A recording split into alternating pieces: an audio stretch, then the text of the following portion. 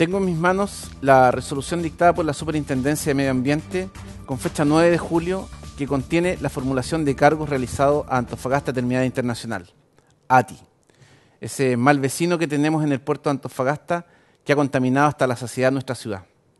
Y esta resolución le formula cuatro cargos a la empresa, dos de ellos que han sido catalogados como graves y dos que han sido catalogados como leves. Respecto a los cargos graves, quiero ser muy enfático y preciso. Esta resolución dice que el galpón azul del grupo Luxit, que está en el puerto de Antofagasta, que embarca los concentrados de cobre de minera Sierra Gorda, contamina y pone en grave riesgo la salud de los antofagastinos. Ese es el primer cargo y es el sobre el cual yo quiero llamar la atención. Porque el segundo, que es tremendamente relevante, es el cargo que le formula por no haber ejecutado la limpieza que se había comprometido y que se había establecido por otra resolución sancionatoria anterior. Poco puede llamar la atención que una empresa acostumbrada a contaminar no cumpla las resoluciones que protegen a la comunidad. Pero lo que es muy relevante es que esta resolución, y se las vuelvo a mostrar, grafica claramente que el galpón azul contamina, que esa promesa que se hizo por parte del grupo Luxich y de Minera Sierra Gorda de que sería la solución al problema de contaminación no es tal. Y por ello, hoy día la superintendencia ha formulado un cargo. Y además le formula dos cargos que la superintendencia ha estimado leves.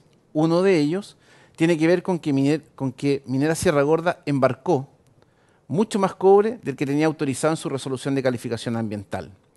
Y segundo, que utilizaron un sitio de embarque, un sitio de atraque donde se ponen los barcos, que no estaba contenido en la resolución de calificación ambiental.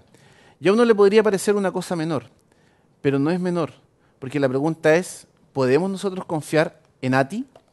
¿Podemos confiar nosotros en Minera Sierra Gorda si no son capaces de, cumplir aquellos mínimos estándares que comprometieron en la resolución de calificación ambiental? A mí me parece que no.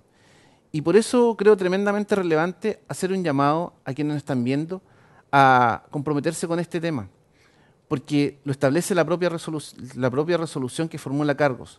Los principales afectados por la contaminación son los niños de menor edad. Y por una razón muy sencilla, la presencia de metales pesados en polvo sedimentable, dicho de manera muy simple, significa que el polvo que está en las calles, que está pegado en las paredes, de los sectores aledaños al puerto, en un radio bastante extenso. Contiene metales pesados que son tremendamente dañinos, entre otros plomo y arsénico, que tienen ya conocidos efectos cancerígenos. Lo ha dicho de manera reiterada la comunidad científica antofagastina.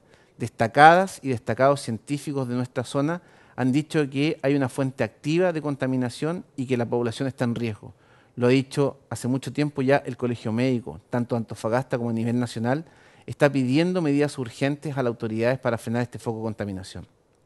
Entonces la pregunta obvia es, ¿nosotros podemos confiar en quienes comprometieron en una resolución de calificación ambiental hacer una cosa que era muy mínima y que no han sido capaces de cumplirla?